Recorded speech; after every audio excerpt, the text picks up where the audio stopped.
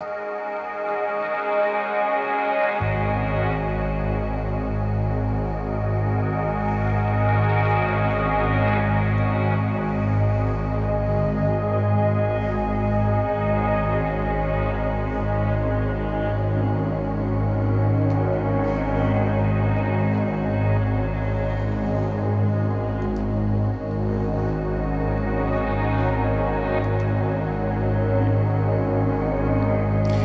Educar. Educar es amar. Llenar la vida de esperanza, de fuerza, de optimismo. Y un joven exitoso deberá vivir estas y otras virtudes para triunfar en la vida. Primero se es persona, que ingeniero, médico, abogado o lo que sea. El futuro necesita gente de valores para construir un mundo mejor sociedades más justas. Veamos ahora con quiénes van a competir nuestros jóvenes. Saber formar a los hijos, encauzarlos, guiarlos, encierra un gozo difícil de igualar. Así corresponde a los padres ser los artífices de una obra de arte que deberá llegar a ser su hijo.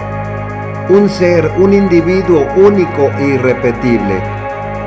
Por eso decimos que el educar es una fuerza creadora, ya que para encauzar se necesita de todo el talento y voluntad encaminados hacia el bien y la verdad. Para ello se requiere conocer al Hijo, observarlo, dialogar con Él constantemente y también dominar el arte de saber callar a veces. Irlo conociendo es ir descubriendo universos maravillosos planear con él y con el cónyuge las metas que el hijo debe ir alcanzando dentro de sus posibilidades. No pretender que realice algo para lo que no tiene edad ni entendimiento suficiente. Estos proyectos unen a la familia proporcionándole cada día experiencias nuevas. Planear y obrar en consecuencia. Así el hijo reconocerá en sus padres esa fuerza vital y dinámica que le comunican diariamente, llena de alegría de vivir. Marina David Busali. Estás entrando a una nueva dimensión la dimensión del éxito y el crecimiento personal, la dimensión de tu grandeza y tu divinidad, la dimensión del desarrollo humano, la dimensión de tu programa, opciones de vida. ¡Comenzamos!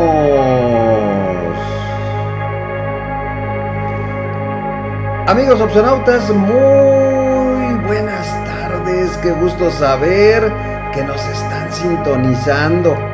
Les damos las más cordial bienvenida a todos los amigos opcionautas, a los que nos están escuchando a través de Facebook, a través de YouTube, a través de la aplicación de Grupo Radio Centro, a través de Radio Centro 1030.mx.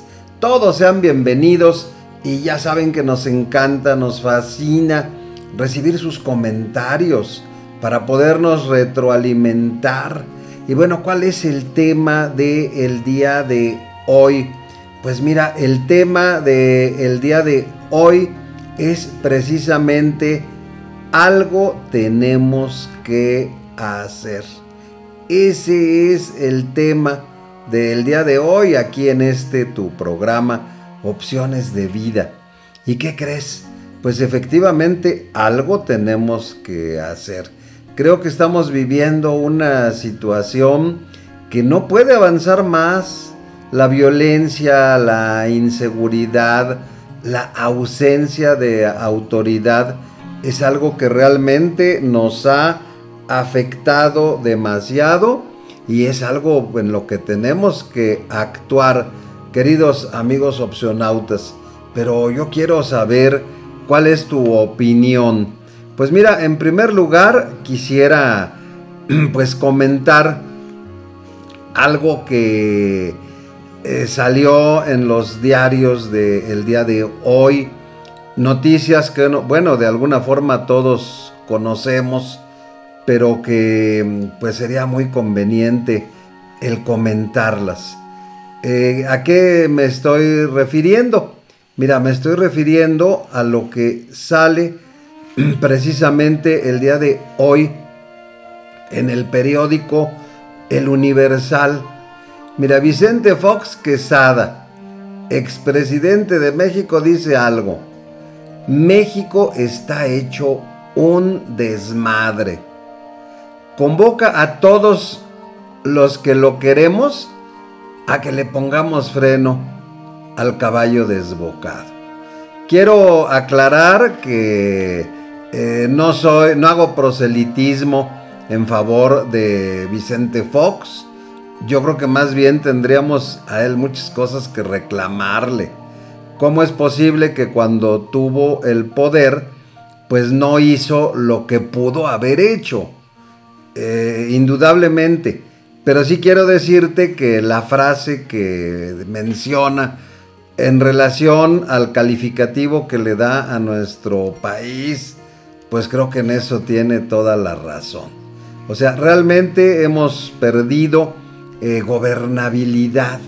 Y mira, nada más basta asomarte a los diarios. Bueno, ya te dije lo que dice ahí Vicente, Fox, lo dijo en San Cristóbal, eh, Guanajuato pero mira nada más. Estamos viendo aquí en pantalla eh, la marcha que se vivió el día de ayer por los jóvenes de Ayotzinapa. Y bueno, pues ahí vemos una manifestación, pero mira lo que dice. Un grupo de anarquistas causaron destrozos a negocios ubicados en la ruta de la marcha del Ángel de la independencia al zócalo. Y efectivamente ahí estamos viendo a los chavos anarquistas causando destrozos. Efectivamente, mira, a lo mejor pueden tener mucha razón, pobres de los jóvenes que murieron, pobres de los 43 de Ayotzinapa, de los padres. Vivimos en una sociedad con mucha desigualdad, con mucha polarización pero hacer esto que estamos viendo ahí en pantalla, jóvenes encapuchados, rompiendo vidrios, em, destruyendo negocios. Yo creo que eso es algo, amigos opcionautas, que verdaderamente no podemos permitir. Pero mira, algo que a mí la verdad me duele y me duele mucho es esta imagen que estoy eh, poniendo ahora, en donde esos mismos chavos anarquistas están eh, pues prendiendo fuego a una cortina de la librería Gandhi. Esto es algo verdaderamente inaudito, pero lo que más tristeza da, pues es justamente lo que dice eh, una más bien las declaraciones que, que dieron. Este, ¿Sabes qué dijeron? Que hay que quemar librerías porque leer es para burgueses. Dime, pues, ¿a, dónde vamos a ir a parar con ese tipo de situaciones? Es algo verdaderamente inconcebible. Pero a mí me gustaría saber, conocer cuál es tu opinión al respecto. En verdad, y, bueno, imagínate, pues ya luego, luego Gandhi saca sus frases y me encantó esta que dice, leer evitará que digas leer es para burgueses es verdaderamente triste lo que, lo que estamos viviendo, Pero es todavía más triste que las autoridades que deberían de estar impidiendo este tipo de actos, pues prácticamente se estén quedando con las manos cruzadas. Y no tan solo eso, sino casi casi hasta apoyándolos, diciendo que no, que eso lo están provocando los de la derecha. Pues es, es algo verdaderamente lamentable. Pero me gustaría saber, me gustaría conocer cuál es tu opinión eh, en, este, en este aspecto. Pero todavía, eh, continuando justamente con lo que eh, dicen los principales diarios el día de hoy, mira, este, en emboscada, tres militares mueren en Guerrero. ¿Qué quiere decir esto? Pues que los que se dedican a hacer el mal ya perdieron el miedo. Ya este, es una cosa en donde como saben que el gobierno no hace nada, porque hay que repartir abrazos y no balazos, pues mira, se sienten así como que muy eh, poderosos y estamos llegando a una situación pues que es verdaderamente insostenible. Pero mira, coincidentemente en el mismo diario, en el Universal, Oscar Mario Beteta dice algo en lo que estoy totalmente de acuerdo. Sin educación no hay transformación. Fíjate cuántos sucesos hemos estado viviendo en los últimos días. Por ejemplo, uno de ellos es que la reforma educativa ya se echó abajo y ahora todo el poder de las contrataciones, etcétera, queda en manos de la CENTE. Una institución tan nefasta. Y mira, justamente dice Oscar Mario Beteta en eh, su editorial del día de hoy, el concepto educación proviene de el latín educere y significa guiar, conducir, refinar al ciudadano para que despliegue su potencial intelectual y sus demás facultades conviva mejor en comunidad y abone a su mejoramiento. En todos los tiempos y lugares, este ha sido un propósito humano que diputados y senadores han soslayado aquí en una obra que debería servir para avanzar, no para retroceder. Educar es una función primordial que deben realizar quienes se han preparado y tienen vocación para cumplir esa delicada misión mirando por los demás. Y esas cualidades no están en el grupúsculo de pseudo profesores de la CENTE. Antes bien, son especialistas en paros, bloqueos, chantajes, presiones y violencia, con la cual consiguen todo. Pues todo esto es lo que estamos viviendo en la actualidad. Y aquí, bueno, la pregunta es, ¿qué se puede hacer? Lo que yo sí te digo es que algo que no debemos de hacer es quedarnos con las manos cruzadas.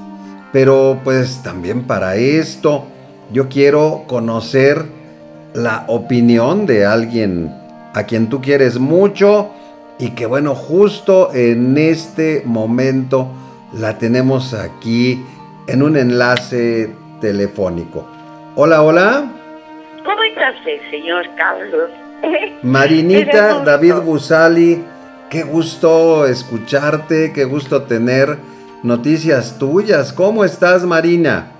Mira, bendito sea Dios, estudiando, porque este tiempo, cuando ya te retiras y puedes estudiar y puedes leer tantas maravillas que hay, bueno, estás feliz, ¿verdad? Porque aprendes, porque mira, aunque ya no lo use, saber es poder. Eso es. Es muy importante. Mira, estaba leyendo un librazo que te recomiendo, Carlitos, que se llama De animales a dioses de animales a dioses, ese libro que nos estás recomendando. ¿Cuál es el autor, Marinita? De animales a dioses. Yuval Noah Harari. Es extranjero y es una breve historia de la humanidad. Y te habla desde, con investigaciones serias, desde los millones y miles de años antes de, de esta raza nuestra que va para atrás, ¿no? Ahorita sí, me estaba yo riendo, me estaba yo riendo, Carlitos, porque dice, fíjate nada más lo que dice aquí, dice, el, el hijo, el niño, el joven, puede ser como el, el, vidrio que sale de los hornos, puede ser modelado y es por la razón por la cual podemos educar a nuestros hijos o a nuestros alumnos y pueden convertirse en cristianos, budistas, capitalistas, socialistas, religiosos o pacifistas.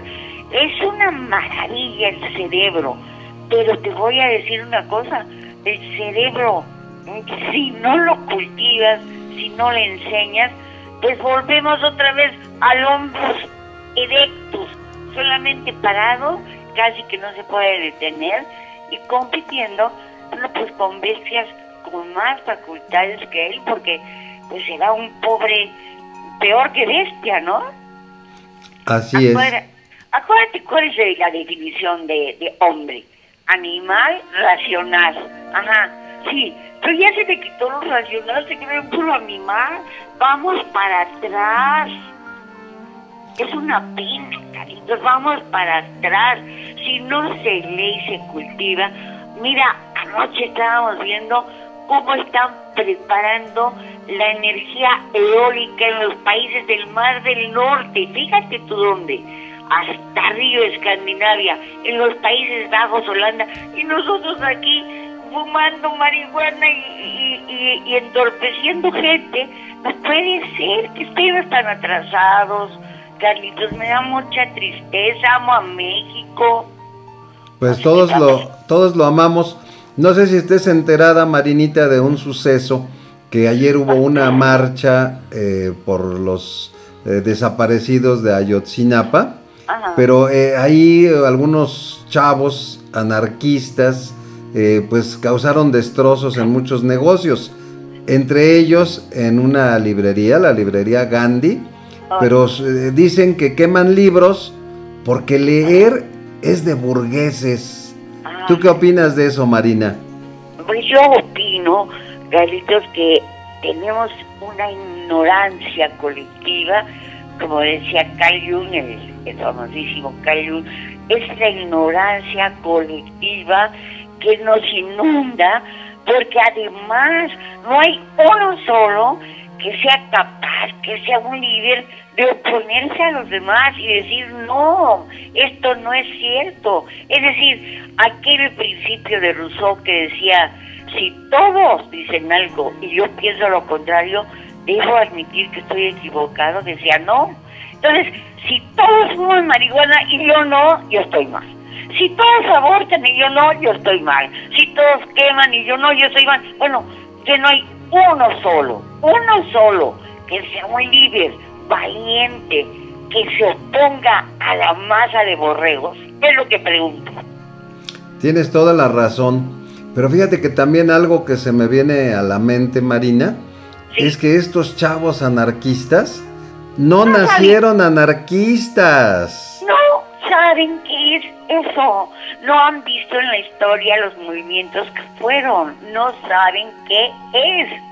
Es decir, pregúntale a uno de ellos, oye, ven acá, dime, ¿qué es eso? ¿A qué te dedicas? ¿Y qué hiciste? Ah, eh, eh, eh, y no, no, te puede contestar, ¿no sabe?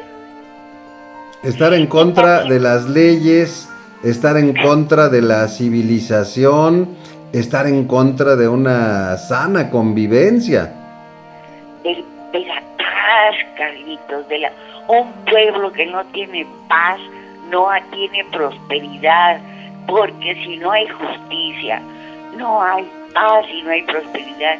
Y se, fíjate, estamos tan atrasados cuando ves otros países tan chiquitos, un Singapur, en Malasia, un China, los puentes, las estructuras, y aquí nos estamos peleando, porque si yo leo, soy burgués, ay, por favor, no saben tampoco qué es burgués, porque son tan ignorantes. Nos está ganando la ignorancia. ¿Te acuerdas del juego del maratón? Sí.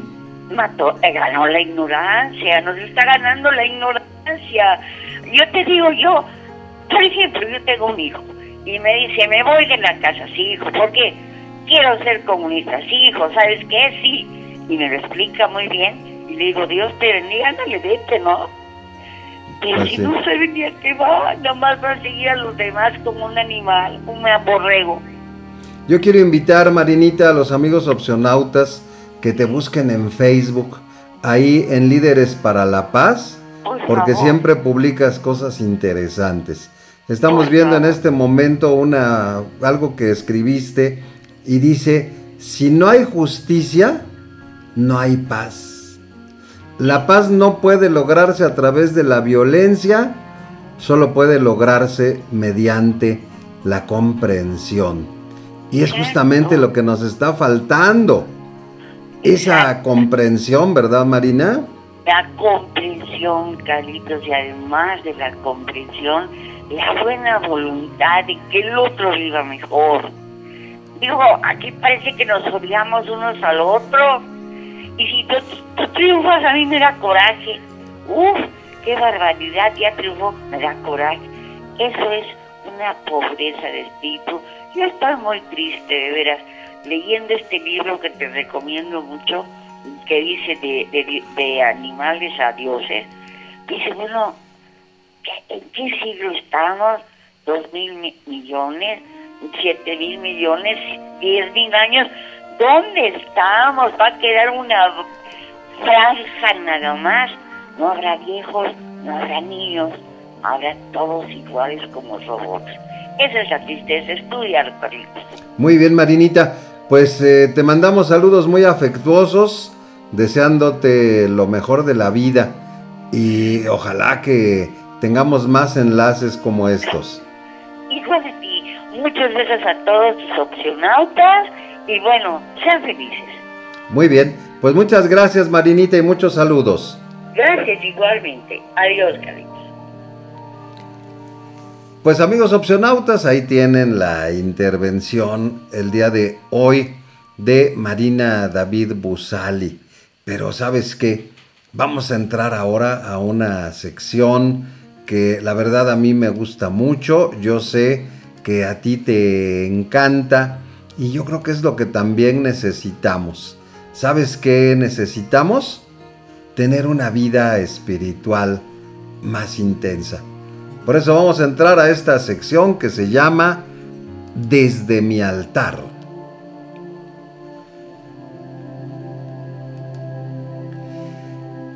Este es el momento de respirar de manera lenta y profunda. Es el momento de tomar de la mano a tus familiares y amigos para formar un gran círculo energético.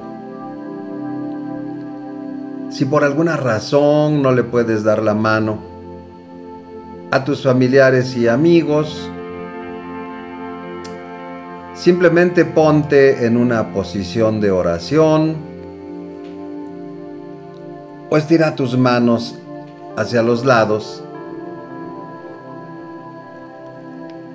e imagina que le estás dando la mano a decenas,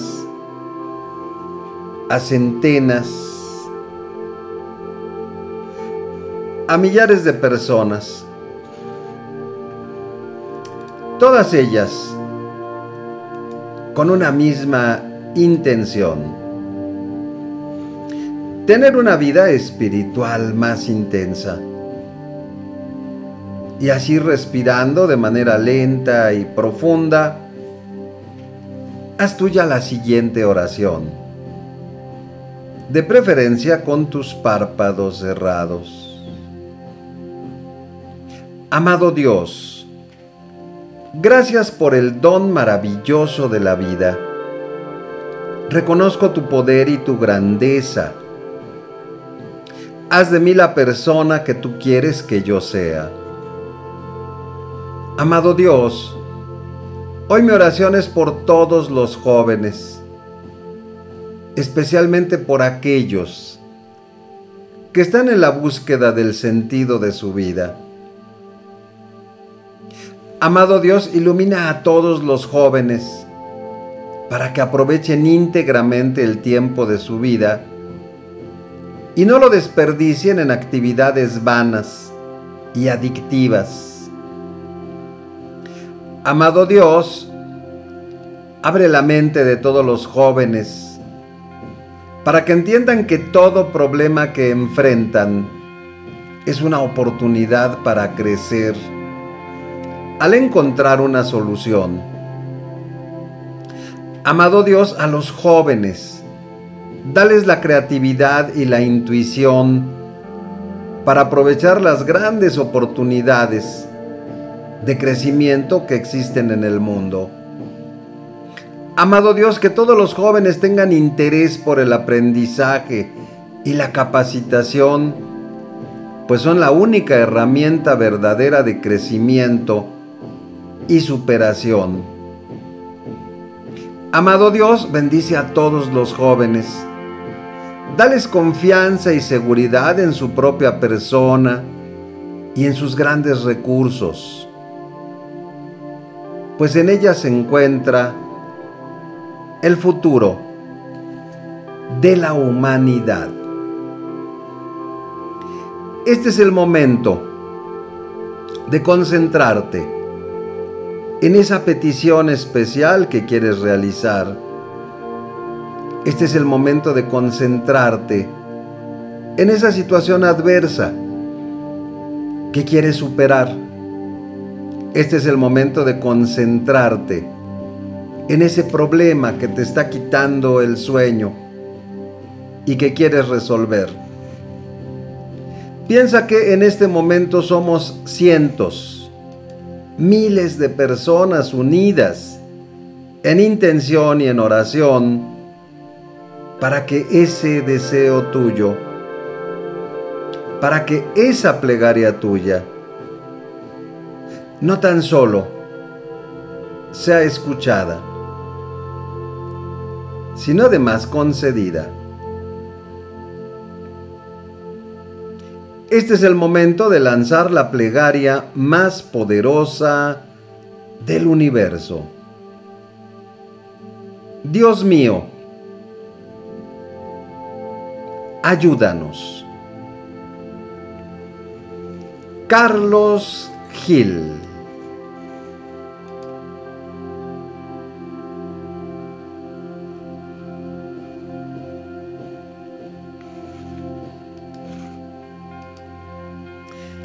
Amigos opcionautas, ¿qué les pareció esta sección de oración desde mi altar?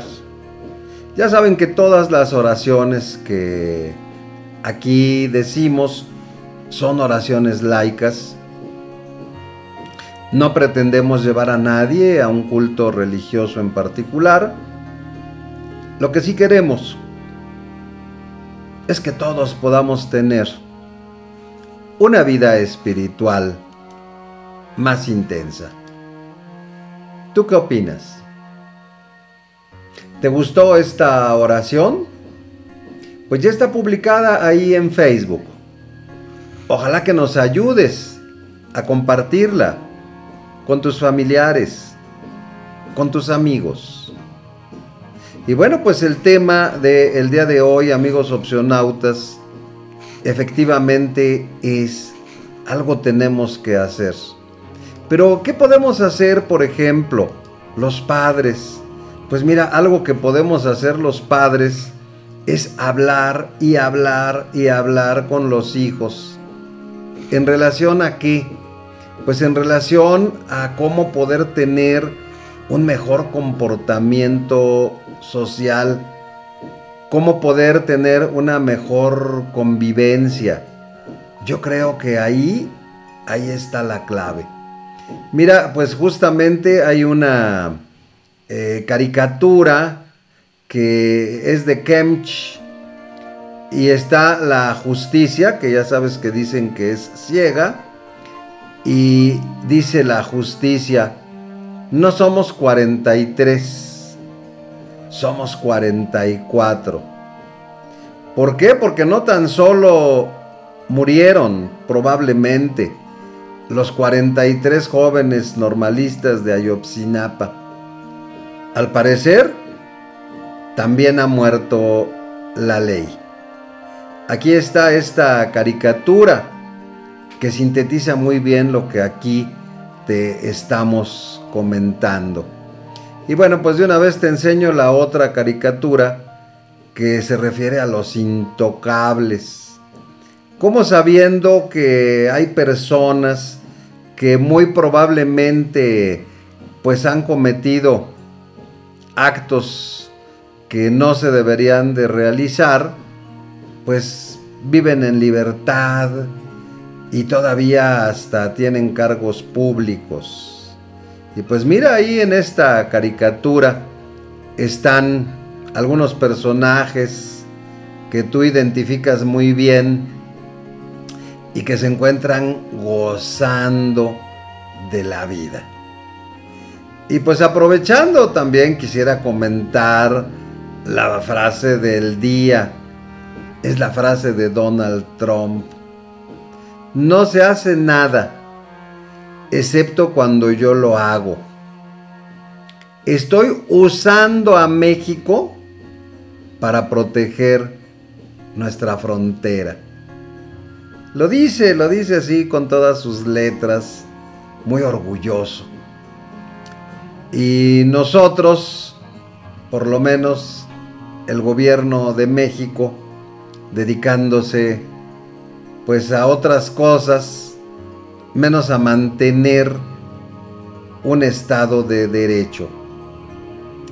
Pero te estoy hablando de esos de esos personajes que cometieron fechorías, que todos lo sabemos, pero mira, andan disfrutando de la vida.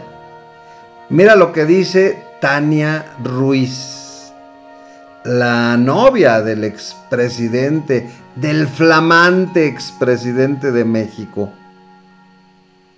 Enrique Peña Nieto. En mala hora llegó a ser presidente. Mira, dice la noviecita, todos son santos cuando hablan de pecados ajenos. Tania Ruiz, novia del expresidente Enrique Peña Nieto, ignora los comentarios negativos que le hacen las personas a su pareja. Además cuenta, su noviazgo va viento en popa, por lo que no se descarta la boda pues hasta los hijos de Peña tienen buena relación con ella. Sus hijos son divinos, la verdad. Yo los quiero mucho a los tres. Todos en general se han portado lindos conmigo. El noviazgo va súper bien, muy contentos. Bueno, vivimos el día. A ver qué pasa después. En las cosas negativas nunca me enfoco sino en todo lo positivo. Y ya, si le das importancia a todo lo que la demás gente dice, imagínate, nunca tendrías paz. Y ahí es en donde señala la frase.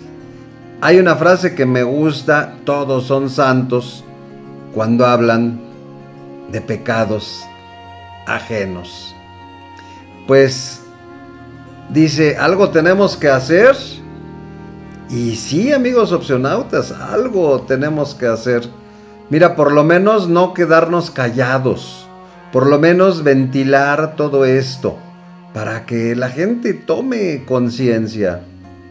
Y mira, algo que está haciendo muy bien Netflix es, por ejemplo, sacar una serie que se va a estrenar el día de hoy y se llama Politician, Políticos, un microcosmos de lo que ocurre en mi, en mi país eso lo dice Lange.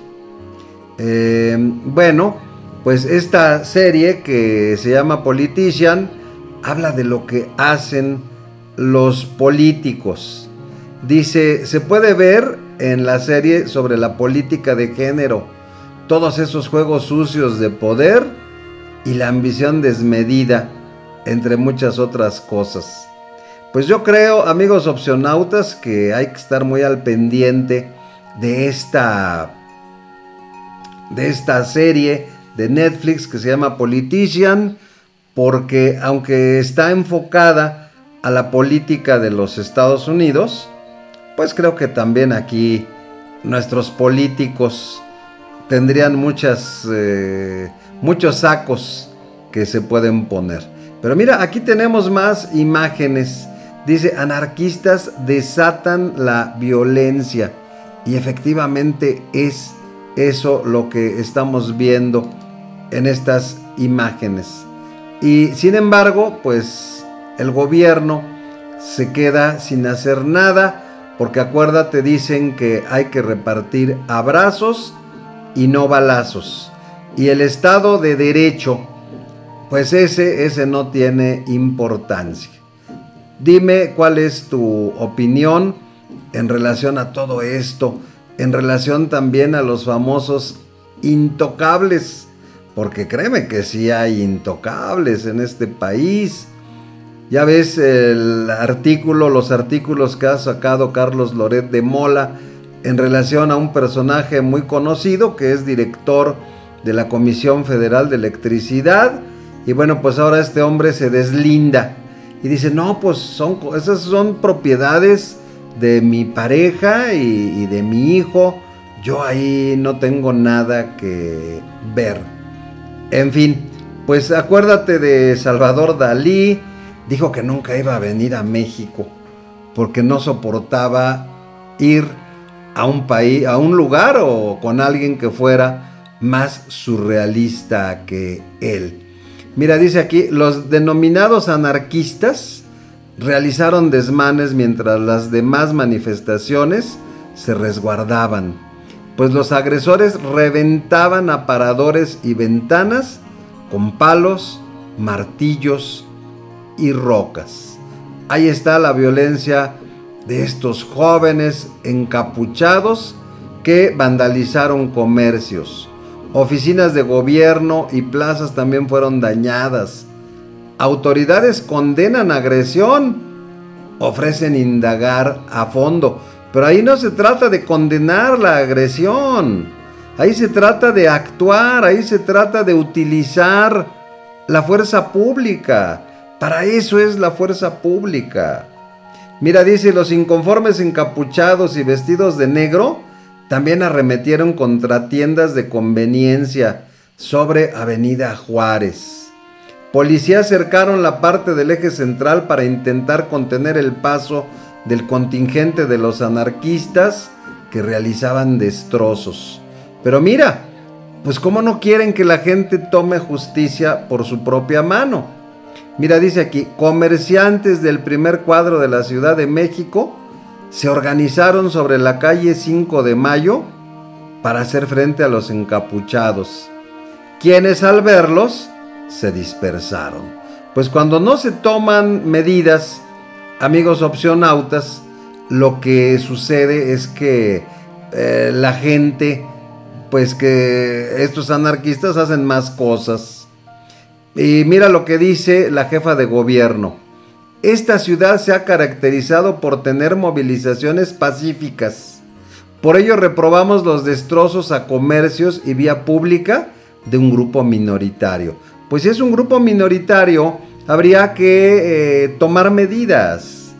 Si son 100, mira, dice, 100 anarquistas realizaron actos de vandalismo, pintas y saqueos de diversos comercios. Dos policías resultaron lesionados por petardos. 35 locales resultaron con diversos daños. 400 elementos fueron desplegados. 500 agentes de tránsito acompañaron la marcha que los acompañaron acaso para que pudieran hacer sus destrozos con toda protección. Pero mira, dice aquí, en tanto no haya detenciones y actúe la fuerza policial, se van a repetir los casos. Exigimos a las autoridades castigo a los culpables. Los rebeldes lanzaron petardos en diversas ocasiones y llegaron hasta las puertas de Palacio Nacional. Las puertas de Palacio Nacional también fueron vandalizadas por los jóvenes. Es válida la exigencia de justicia, pero no debemos permitir que anarquistas intenten romper con los ideales de esta lucha social. Y mira, dice aquí, los jóvenes de negro usaron las cosas robadas como proyectiles. Pues amigos opcionautas, en verdad, algo, algo tenemos que hacer. Pero aunque estos chavos dicen que leer es de burgueses, pues vamos de todas maneras a entrar a esta sección de lectura que se refiere precisamente a un libro precioso que se llama Volver al Amor. Y mira, hasta parece burla, porque creo que tal pareciera que algo de lo que nos hemos alejado es precisamente de el amor. Ya sabes que nos encanta recibir tus comentarios a través de Facebook, a través de YouTube. Y te recuerdo el multilínea aquí de Radio Centro 1030. 55 1084 1030. 55 1084 1030. ¿Qué dice, amigos opcionautas, Marianne Williamson el día de hoy en esta obra sensacional que es Volver al Amor? Pues estamos entrando ya al capítulo 10, al capítulo 9. Y mira, dice así: Renunciar al miedo. El amor perfecto expulsa al miedo. Esto es con lo que empieza la lectura del día de hoy de esta obra, que es volver al amor. Y dice, una buena relación no es siempre miel y rosas.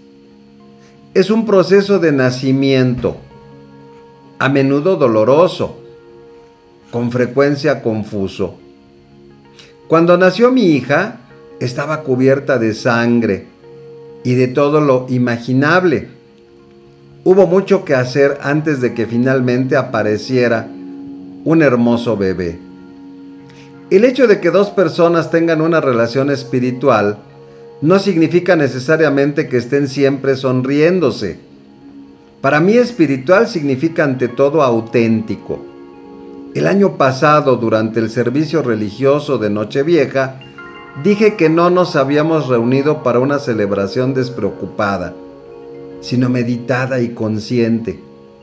Eso incluía cierta aflicción y el reconocimiento de las decepciones sufridas durante el año, que tendrían que ser procesadas y perdonadas antes de que pudiéramos celebrar verdaderamente las campanas de la medianoche como señal de un nuevo comienzo.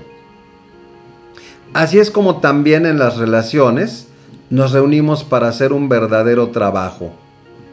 Y el verdadero trabajo solo se puede hacer si existe una rigurosa sinceridad, que es lo que todos anhelamos, pero que tenemos miedo de comunicarnos abiertamente con otra persona porque pensamos que los demás nos dejarán si ven quiénes somos en realidad. En una ocasión, una pareja que asistía a mis conferencias vino a verme para que les aconsejara. Ese mismo día el hombre había dicho a la mujer que quería romper la relación. Indignada y herida, ella le preguntó si la acompañaría a verme para ayudarle a superar la pérdida. Mientras los dos estaban sentados frente a mí en el sofá, le expliqué a Bob que mi intención no era intentar que volvieran a unirse, unirme a ellos, sino unirme a ellos para pedir paz. Recordé en ese momento una situación similar en la que me había encontrado una vez y la habilidad con la que la había manejado mi terapeuta. Y dije exactamente lo mismo que ella había dicho. Bob le pregunté, ¿por qué estás tan enojado con Débora? No estoy enojado con ella, negó él. Bueno, Pues lo pareces, insistí. Sé que no es cosa mía arreglar a Débora, me respondió. No quiero cambiarla. Lo único que quiero es irme. Oh, apuesto a que esto te parece muy espiritual, señalé.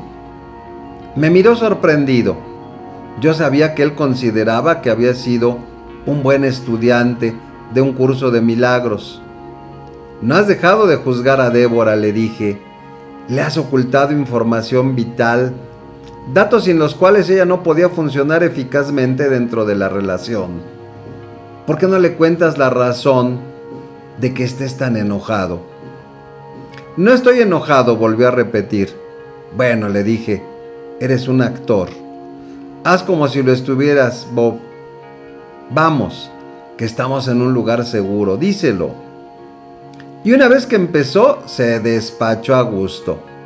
Le dijo que ella no tenía la menor idea de cómo vivir con otra persona, que hacía todo lo que le daba la gana sin importarle si a él le apetecía hacer lo mismo. No recuerdo exactamente qué más le dijo, pero una vez que él se decidió a dejar salir lo que llevaba dentro, soltó un chorro de palabras. Cuando terminó, Débora, evidentemente conmovida, dijo con sinceridad, en voz baja, es que yo no lo sabía. Gracias por decírmelo. Se fueron y no se separaron. Más adelante me dijeron que su relación renació en aquella ocasión. La cólera que sentía Bob era energía reprimida que se generaba en el hecho de haber sentido que no era espiritual compartir sinceramente sus sentimientos con ella mientras convivían. Es mucho mejor comunicar nuestros sentimientos que reprimirlos. El enojo suele ser el resultado de una serie de sentimientos no comunicados que se nos amontonan dentro hasta que por fin estallan. En una relación santa, Forma parte del compromiso expresar sincera y asiduamente nuestros sentimientos y apoyar a nuestra pareja para que pueda hacer lo mismo. Es tanto lo que así se va comunicando a lo largo del camino que disminuye la probabilidad de que se vaya acumulando el resentimiento en el interior de uno u otro de los miembros de la pareja. Marianne Williamson en Volver al Amor.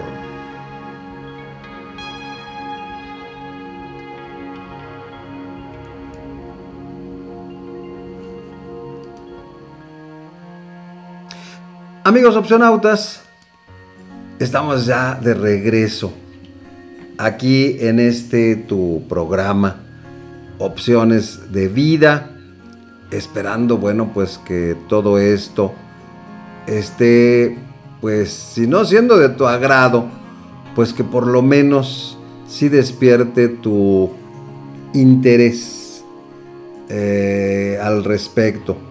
El tema, el tema del día de hoy es, pues, que tenemos que hacer algo y justamente aquí la pregunta es, bueno, nosotros qué podemos hacer? Pues mira, algo que podemos hacer es simple y sencillamente los que tenemos padres, pues educar a nuestros hijos. ¿Tú qué opinas? Educar a nuestros hijos, yo insisto, los anarquistas no nacieron anarquistas ¿verdad? Eso eh, es algo pues que debemos verdaderamente de considerar. Pero tú qué opinas? Mira, estoy buscando aquí en internet algo que dice eh, Vladimir Putin. Y yo creo que vale la pena pues el comentarlo el día de hoy eh, dado el tema del cual estamos hablando. Mira, este, mira lo que dice Vladimir Putin. Te lo voy a decir y quiero que a su vez tú me digas cuál es tu opinión al respecto. Él habla de los terroristas, pero bueno, pues yo creo que aquí podemos englobar a todas las personas que están haciendo cosas que no deben. Creo que los actos de ayer son una forma de terrorismo. Mira, dice, perdonar a los terroristas es cosa de Dios, pero mandarlos con Él es cosa mía. ¿Qué opinas de esta frase? De Vladimir Putin, presidente de Rusia. Perdonar a los terroristas es cosa de Dios, pero mandarlos con Él es cosa mía. Pues ahí tienes esta frase y pues creo que efectivamente algo se tiene que hacer. Pero sabes que una, una, cosa que yo creo que se podría hacer es capacitar a los chavos enseñarles a encontrar un sentido de la vida. Mira, ¿qué es lo que reflejan todos esos actos? El mensaje de esos chavos es, pues yo no tengo nada, entonces que nadie tenga nada. Entonces hay que crearles los accesos, pero pues primero para esto tiene que haber voluntad, tiene que haber ganas de, crecer, ganas de aprender, ganas de hacer las cosas y no solamente ganas de destruir. ¿Qué es lo que hay atrás de todas estas conductas? Un profundo resentimiento social y una profunda falta de amor. Por eso lo que yo te digo es que atrás de todo este tipo de problemas existe una paternidad irresponsable. Entonces es justamente en lo que tendríamos que trabajar. Pero mira, ya estamos casi llegando a la recta final el día de hoy. Pues mira, nada más les quiero comentar rápidamente que todos los días estamos dando consultas de biomagnetismo. ¿En dónde? En la calle de Centenario número 85. ¿Tienes algún problema de salud? Ciática, colesterol, triglicéridos, diabetes, VIH, BPH, migraña, dolor de cabeza, cirrosis, hepatitis, problemas de circulación, tumores, miomas, hipertensión, etc., pues lo indicado sería una consulta de biomagnetismo. Trabajamos todos los días de 10 a 2 de la tarde, incluyendo sábados y domingos. Así es de que aquí te esperamos con gusto todos, todos los días de 10 a 2 de la tarde en la calle de Centenario número 85. Lo ideal es que llegues con una cita, pero si llegas sin cita también te vamos a atender siempre y cuando llegues antes de las 12 del día. De nuestro multilínea 55 90 15 87 28. 55 90 15 87 28 y nuestro WhatsApp 55 83 69 82 20 55 83 69 82 20 y te voy a dar un nuevo número de teléfono para que lo anotes. Un nuevo número de teléfono es 55 34 34 88 84. Un número más fácil, ¿no? 55 34 34 88 84. Y en este mismo número es donde, en donde vas a poder pedir informes del curso de biomagnetismo que va a venir a impartir Alonso Ashaika. Un curso sensacional que mira, parece lejano, ¿eh? Va a ser los días 15, 16 y 17 de noviembre, pero ya hay muy poquitos lugares. Y para que tengas un súper descuento, pues tienes de plazo hasta este próximo lunes. lunes 30 de septiembre, para que tengas un descuento muy interesante. Toda la información igual en mi página de internet www.yosoycarlosgil.com o www.biomagnetismocarlosgil.com. Y vamos a entrar ahora, amigos opcionautas, a nuestra sección de la frase de Osho. Una frase que tiene mucho que ver pues con todo esto que de lo que estamos hablando el día de hoy aquí en este tu programa Opciones de Vida. Ya sabes, mi página de internet es www.yosoycarlosgil.com y la frase de Osho de el día de hoy dice así: Lo que digo es que no hay necesidad de que nadie sufra. Simplemente sed conscientes. Dejad que la conciencia esté presente. La ira surgirá y será consumida por la conciencia. No se puede estar enfadado cuando se es consciente, como tampoco se puede ser codicioso o celoso con ella. La conciencia es la llave de oro. Pero, ¿qué crees? Ah, bueno, pues esa frase fue la de ayer, pero mira, aquí está ya la de hoy. La frase de hoy, han enseñado, han estado enseñando que el sexo está mal, pero nadie dice que el sexo, qué es el sexo y cómo conocerlo. Preguntádselo a vuestro padre y se sentirá incómodo. Exclamará, no hables de cosas tan malas. Pero estas cosas malas son realidades. Ni siquiera vuestro Padre pudo escapar a ellas.